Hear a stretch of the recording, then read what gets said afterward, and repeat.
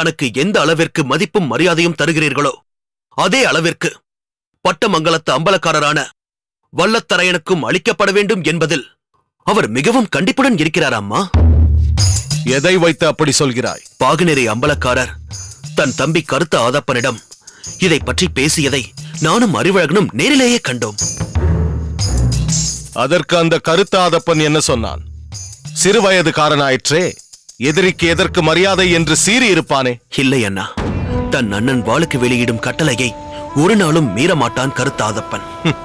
தன் அண்ணனுடைய எண்ணம் ஈடேற வேண்டும் என்பதற்காக கருத்தாதப்பன் எடுத்துக்கொள்ளும் முயற்சியும் பாகநெறி திருவிழா சிறந்த முறையில் நடந்து அனைத்து அம்பலக்காரர்களும் ஒற்றுமையாக இருக்க வேண்டும் என்பதற்காக பாகநேரி அம்பலக்காரர் வாளுக்கு வேலியின் தாயார் காட்டும் அக்கறையும் பரிவும் என்னை மெய்சிலிருக்க வைத்து விட்டது அண்ணா. உண்மையிலேயே அவர்களது குடும்பத்தினர் மிக மிக உயர்ந்தவர்கள்தான். போதும். பகைவனின் குடும்பத்தாருக்கு நற்சான்றிதழ்களை அள்ளித் தந்தது போதும். நீ பாகநேரிக்கு சென்றது எதற்காக? அங்கு எனக்கு ஏதேனும் ஆபத்து ஏற்படுமா என்று அறிந்து வருவதற்காக. பகைவனின் குடும்பத்திற்கு பட்டயங்களை அள்ளி வழங்குவதற்காக அல்ல. அவன் அப்படித்தான் பேசுவான் வல்லத்தரையா? காரணம் வாளுக்கு வேலியின் தம்பி கருத்தாதப்பனை வைரமுத்தனுக்கு மிகவும் பிடிக்கும். அவர் தங்கை கல்யாணியையும் மிகவும் பிடிக்கும். என்ன? இல்லை இல்லை. அவர்கள் குடும்பத்தில் உள்ள அனைவரையும் பிடிக்கும் என்று சொன்னேன். இல்லையே. ஏதோ கல்யாணி என்று பெயர் சொன்னது போல் கேட்டதே. அது ஆ அவர்களது குடும்பத்தில் ஏதாவது கல்யாணம் நடந்தால் எந்த அளவிற்கு விசேஷமாக பிரம்மாண்டமாக இருக்குமோ அந்த அளவிற்கு இந்த திருவிழா இருக்கிறது என்று சொல்ல வந்தேன். வைரமுத்தா ஒருவேளை நீ வாளுக்கு வேலியின் தங்கை கல்யாணியைத்தான் சொல்கிறாயோ என்று கூட நான் நினைத்தேன். அப்படியா? கருத்தாதப்பனுக்கு ஒரு தங்கை இருக்கிறாளா? அவள் பெயர் கல்யாணியா? இது எனக்கு தெரியாதே. இருக்கிறாள் வைரமுத்தா மிகவும் அழகானவள் அந்த கல்யாணி. நானும் வல்லத்தரையனும் சிறு வயதாக இருக்கும் பொழுது நம் தந்தையாரோடு பாகநேரிக்கு அடிக்கடி செல்வோம். அப்பொழுது வாளுக்கு வேலி எங்களை பார்த்ததும் மிகவும் மகிழ்வான். எங்களை விட்டு பிரியவே மாட்டான். கருத்தாதப்பனும் நீயும் விவரம் அறியாத சிறு குழந்தைகள். கல்யாணி பெரிய நாயகி தாயாரின் வயிற்றில் நிறை மாசம். ஒரு நாள் கல்யாணியை நடுவூர் நாட்டு கோவிலில் வைத்து பார்த்தேன். மிகவும் அழகாக இருந்தாள். பேச வேண்டும் என்று நினைத்தேன். ஆனால் என் கணவர் தடுத்து விட்டார். வல்லத்தரையா சிறுவயதில் நாம் பாகநேரியில் விளையாடியது உனக்கு நினைவிருக்கிறதா? இருக்கிறது இருக்கிறது. சிறு வயதில் நடந்ததை அவ்வளவு எளிதில் மறந்துவிட முடியுமா என்ன? இருபது வருடங்கள் ஆகிறது. நான் அந்த பாகநேரி மண்ணில் கால் பதித்து. அந்த மாளிகைக்குள் நாம் போய் விளையாடாத இடமே கிடையாது என்றுதான் சொல்ல வேண்டும். அது எவ்வளவு பெரிய மாளிகை தெரியுமா வைரமுத்தா? நாம் அங்கு சென்று விட்டால் வாளுக்கு வேலைக்கு அங்கு என்ன உரிமை இருக்கிறதோ அதே உரிமைதான் வல்லத்தரையனுக்கும். என்னையும் தங்கள் மகள் போல்தான் அவர்கள் பாவித்து அன்பு காட்டினார்கள். போதும் வீரம்மாள் போதும். பழைய கதைகளை பற்றி பேசாதே. நீ சிறுமியாக இருந்ததால் அப்பொழுது நடந்த நல்ல நிகழ்ச்சிகள் மட்டுமே உன் நினைவில் நிற்கின்றன. ஆனால் அதன் பிறகு நடந்த துரோகச் செயல்கள் உனக்கு நினைவில் இல்லை இல்லையா? அந்த துரோகம் எத்தனை கொடியது என்பது எனக்கும் வல்லத்தரையனுக்கு மட்டும்தான் தெரியும். பட்டமங்கலமும் பாகநேரியும் சரிசமமான நாடுகள் என்றாலும் செல்வச் செழிப்பில் நம்மை விட அவர்கள் உயர்ந்துதான் இருந்தார்கள். அதற்காக அவர்கள் பெருமையை பற்றி இங்கு பேசிக் கொண்டிருக்காதே. பார்த்திருக்கிறேன். மூட்டை மூட்டையாக பொற்காசுகளையும் தங்க ஆபரணங்களையும் கட்டி வைத்திருந்ததை நானும் பார்த்திருக்கிறேன். ஒருமுறை அந்த மூட்டையை தூக்கி பார்க்க வேண்டும் என்று ஆசைப்பட்டு தூக்க முயற்சி செய்தேன். ஆனால் சிறு வயதானதால் என்னால் அது முடியவில்லை. அது மிகவும் பாரமாக இருந்தது. ஆனால் எனக்கு பாரமே தெரியவில்லை அண்ணா. நான் சுலபமாக தூக்கிவிட்டேன். என்ன சொல்கிறாய்? எதை தூக்கினாய்? பாகநேரியின் ஐஸ்வர்யத்தையே என் தோளில் தூக்கிவிட்டேனே. அந்த பொக்கிஷத்தை அப்படியே இங்கு பட்டமங்கலத்திற்கு கொண்டு வந்து விடலாம் என்றுதான் நினைத்தேன். ஆனால் நீங்கள் என்ன சொல்வீர்களோ என்ற அச்சத்தில்தான் அதை அப்படியே அங்கேயே விட்டுவிட்டு வந்து விட்டேன். பகைவனுடைய பொன்னுக்கும் பொருளுக்கும் ஆசைப்படுபவன் அல்ல இந்த வல்லத்தரையன். ஆமாம் வைரமுத்தா. நீ எப்படி அந்த பொற்களஞ்சியத்திற்குள் சென்றாய்? அது மிகுந்த பாதுகாப்பு நிறைந்த இடமாக அல்லவா இருக்கும்? நான் எங்கே உள்ளே சென்றேன்? அதுவாக வெளியே வந்தபோது அதை தூக்கும் வாய்ப்பு எனக்கு கிடைத்தது. என்னடா சொல்கிறாய்? அதுவாக வெளியே வந்ததா? என்ன உளறுகிறாய்? அண்ணா நான் பாகநேரிக்கு உளவறிய சென்றபோது மேலோட்டமாக ஊரை மட்டும் சுற்றி பார்க்காமல் அம்பலக்காரரின் மாளிகைக்கு அருகிலும் சென்று நோட்டமிட்டேன். அப்போதுதான் பொற்களஞ்சியத்திலிருந்து சில மூட்டைகளை வண்டியில் ஏற்றிக் கொண்டிருந்தார்கள்.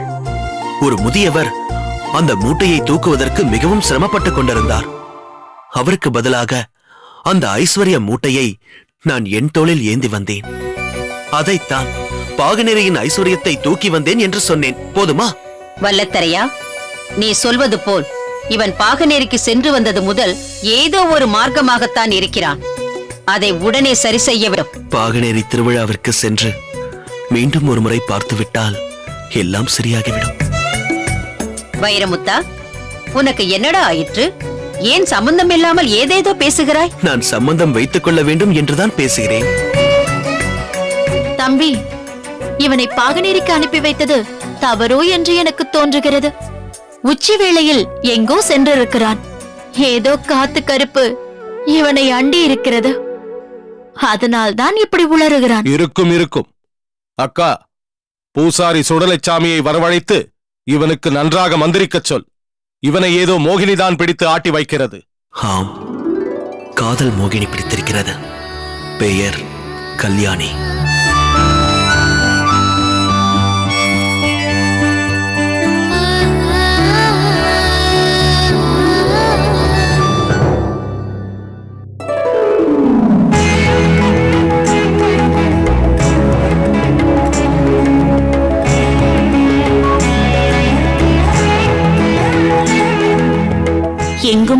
பரஞ்சுடரே.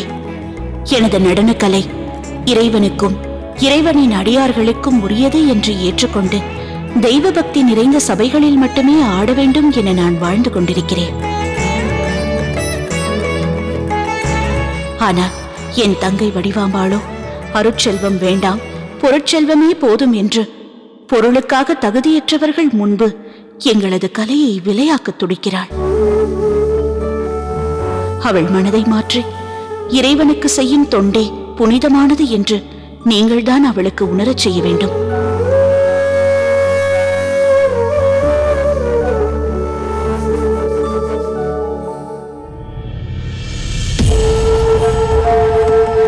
சகல மங்களங்களையும் தருவதால் சிவம் என்னும் பெயர் கொண்ட இறைவா பொருளில்லார்க்கு இவ்வுலகம் இல்லை என்பதை என் அக்காள் சுந்தரி புரிந்து கொள்ளவே இல்லை.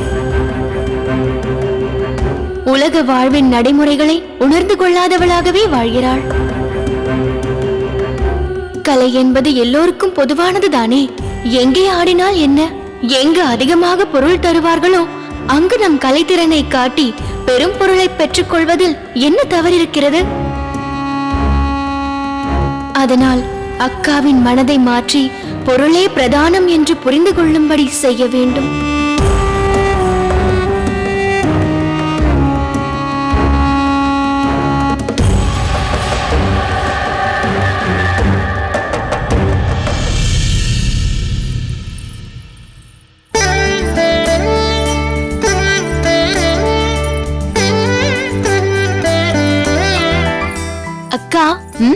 இறைவனிடம் நீ என்ன வேண்டிக் கொண்டாய்? நான் யாருக்காக வேண்டிக் கொள்ளப் போகிறேன்? உனக்காகத்தான் வேண்டிக் கொண்டேன். நீ? எனக்கு உன்னை தவிர வேறு யார் இருக்கிறார்கள்? நானும் உனக்காகத்தான் வேண்டிக் கொண்டேன். அடாடாடாடாடா அக்காவிற்காக தங்கையும் தங்கைக்காக அக்காவும் வேண்டிக் கொள்வதை கேட்கும் பொழுது எனக்கு மிகவும் சந்தோஷமாக இருக்கின்றது. சுந்தரி வடிவு உடன் பிறந்த பாசம் என்பதற்கு நீங்கள் இருவரும் உதாரணமாக விளங்குகின்றீர்கள். இந்த ஒற்றுமை என்றென்றும் நிலைத்திருக்க வேண்டும். வணக்கம். வணக்கம். சுந்தரி இவர் நமது காடநேரி பண்ணையார். ஓ. மேனா மேயனா என்று இவரை அழைப்பார்கள். பெரும் செல்வந்தர்தான் என்றாலும் உயர்ந்த பண்பாளர். தன்னிடம் பணிபுரிபவர்கள் அனைவருக்கும் அவர்களது தேவைகளை அறிந்து நிறைவேற்றுபவர். தெய்வ பக்தி நிறைந்தவர். அம்மா தனக்கு எவ்வளவு செல்வம் கிடைத்திருந்தாலும் அது இறைவன் கொடுத்ததுதானே? இதோ இந்த கோவிலில் எழுந்தருளியிருக்கும் எம்பெருமானை பற்றி பாடிய பட்டினத்தார் என்ன சொன்னார்? பிறக்கும் போது நாம் எதையும் கொண்டு வரவில்லை. போகும் போதும் எதையும் கொண்டு போவதில்லை. இதன் நடுவே கொளிக்கும் இச்செல்வம் சிவன் தந்தது என்று பிறருக்கு கொடுக்க வேண்டும் என்றார். அதனால் என்னால் இயன்ற அளவிற்கு அதை நான் கடைபிடிக்கிறேன். இத்தகைய உயர்ந்த குணமுள்ள ஒருவரை இன்று சந்திக்கும் வாய்ப்பு கிடைத்ததற்காக நான் மிகவும் மகிழ்கிறேன். தாங்கள் ஈசனை தரிசித்து விட்டீர்களா? திருக்கோட்டியூர் வந்தவுடனே இங்கு வந்து இறைவனை வழிபட்டு விட்டுத்தான் உங்கள் வீட்டிற்கு சென்றேன் அம்மா. நாதமுனி முன்பே எனக்கு அறிமுகம் என்பதால் நீ கோவிலில் இருக்கிறாய் என்று சொல்லி அழைத்து வந்தார். அப்படியா? என்னை காண வந்திருக்கிறீர்களா? என்ன விஷயமாக? நாடறிந்த கலையரசியான உன்னை காண்பதே நல்ல விஷயம் தானம்மா நியாயமாக பார்த்தால் ஓரிரு வருடங்களுக்கு முன்பே உன்னை வந்து நான் பார்த்திருக்க வேண்டும். எப்படி? என் பேத்தி கனகப்பிரியா உன்னிடம் நடனம் கற்றுக்கொள்ள வேண்டும் என்று மிகவும் விரும்பினாள். ஆனால் அப்பொழுதிருந்த சூழ்நிலையால் அது முடியாமல் போய்விட்டது. அதனால் அவளுக்கு மிகவும் வருத்தம். இப்போது கனகப்பிரியாவை அழைத்து வந்திருக்கிறீர்களா? இல்லையம்மா சற்றும் எதிர்பாராமல் ஒரு நல்ல வரன் அமைந்து விட்டது. அதனால் என் பேத்தியின் திருமணத்தை நடத்த ஏற்பாடு செய்து விட்டேன். நல்ல விஷயம்தானே? அதிலொன்றும் தவறில்லையே. உண்மைதான். ஆனால் என் பேத்தி என்னிடம் நான் சுந்தரி அக்காவிடம் நடனம் கற்றுக்கொள்ள ஆசைப்பட்டேன். அந்த ஆசையைத்தான் நீங்கள் நிறைவேற்றவில்லை. எனது திருமணத்திலாவது அவரது நடனத்தை ஏற்பாடு செய்து அதை பார்க்கும் பாக்கியத்தை எனக்கு ஏற்படுத்தி தாருங்கள் என்று வேண்டினாள். அப்படியா? ஆமாம் அம்மா என் பேத்திக்கு மட்டுமல்ல எங்கள் குடும்பத்தில் உள்ள அனைவருக்குமே உங்கள் நடனத்தை பார்க்க வேண்டும் என்று விருப்பம்தான். அதை பற்றி பேசத்தான் நான் இப்பொழுது திருக்கொட்டியூரிலிருந்து வந்திருக்கிறேன். என்றைக்கு திருமணம்? வைகாசி மாதம் பத்தாம் நாள். சரி. மாமா நடன நிகழ்ச்சிக்கு தேதி கொடுத்து விடுங்கள். மிக்க மகிழ்ச்சி அம்மா. நீ மிகவும் அரிதாகத்தான் நிகழ்ச்சியை ஒப்புக்கொள்வாய் என்று நாதமுனி சொன்னார். எனது பேத்தியின் திருமண விழாவில் உனது நாட்டிய நிகழ்ச்சி நடக்குமோ நடக்காதோ என்ற சந்தேகத்துடன் வந்தேன். ஆனால் நான் அதை பற்றி சொன்ன மறுகணமே நீ அதை ஏற்றுக்கொண்டது எனக்கு மிகவும் மகிழ்ச்சியாக இருக்கிறது. அதற்கு காரணம் தாங்கள் கொண்டிருக்கும் சிவபக்தி. அனைவருக்கும் தங்களால் இயன்றதை செய்ய வேண்டும் என்று நினைக்கும் உயர்ந்த உள்ளம். எல்லாவற்றுக்கும் மேலாக உங்கள் பேத்தி கனகப்பிரியா கலை மீது கொண்டிருக்கும் ஈடுபாடு. இதையெல்லாம் நினைத்து பார்த்துதான் நான் இந்த நிகழ்ச்சியை உடனே ஏற்றுக்கொண்டேன். அம்மா என்னதான் அன்புக்காக இந்த நிகழ்ச்சியை ஏற்றுக்கொண்டாலும் உங்களுக்குரிய சன்மானம் வழங்க வேண்டியது எனது பொறுப்பல்லவா? அது எவ்வளவென்று சொன்னால் அந்த சன்மானத்தை கொடுத்து விடுகிறேன். ஐயா கலைக்கு விலை ஏது? தன்மானம் உள்ளவர்கள் சன்மானத்திற்காக கலையை என்றும் விற்க மாட்டார்கள். பொருத்தமாக சொன்னாயம்மா உன்னுடைய கலையை எவரும் விலை கொடுத்து வாங்க முடியாது என்பதற்கு நீ அந்த ஆங்கிலேய அதிகாரி கர்னல் அக்னியுடன் பேசிய பேச்சே ஆதாரம். சங்க காலத்தில் ஒரு தமிழச்சி புலியை முரத்தால் அடித்து துரத்தினாள் என்று படித்திருக்கிறோம். ஆனால் நீ அக்னியு என்ற ஆங்கிலேய புலியை வார்த்தைகளாலேயே அடித்து துரத்தி விட்டாய் ஒரு தமிழச்சியின் கலைத்திறனை காண வெள்ளையருக்கு தகுதியில்லை என்பதை உணர வைத்து விட்டாய். அவனது இருப்பிடத்திற்கே சென்று அவனை அலட்சியப்படுத்தி விட்டு வந்த செய்தி எங்கும் பரவி இருக்கிறது அதை அறிந்த ஒவ்வொருவரும் பெருமிதத்தோடு உன்னை வாழ்த்திக் கொண்டிருக்கிறார்கள். வாளுக்கு வேலி தனது வீரத்தால் ஆங்கிலேயரை கலங்க வைத்தான் என்றால் நீ உனது கலைத்திறனை ஆயுதமாக கொண்டு போராடி வென்றிருக்கிறாய். வாளுக்கு வேலி. பெயரே புதுமையாக இருக்கிறதே. யார் அவர் அவரை பற்றி உனக்கு தெரியாதா அம்மா? அவர் பாகநேரியின் அம்பலக்காரர். மருதுபாண்டியரின் போராட்டத்திற்கு பக்கபலமாக விளங்குபவர். அவரை போன்ற வீர மறவர்களும் உன்னை போன்ற உறுதிமிக்க கலையரசிகள் இருக்கும் வரை வெள்ளையனால் நம்மை ஒன்றும் செய்ய முடியாது. சரி பயண ஏற்பாடுகளை பற்றி மாமாவிடம் பேசிக் கொள்ளுங்கள் நல்லதம்மா நான் வருகிறேன். வாருங்கள். சுந்தரி இவரை வழி அனுப்பிவிட்டு சரி வருகிறேன் மாமா. வாருங்கள்.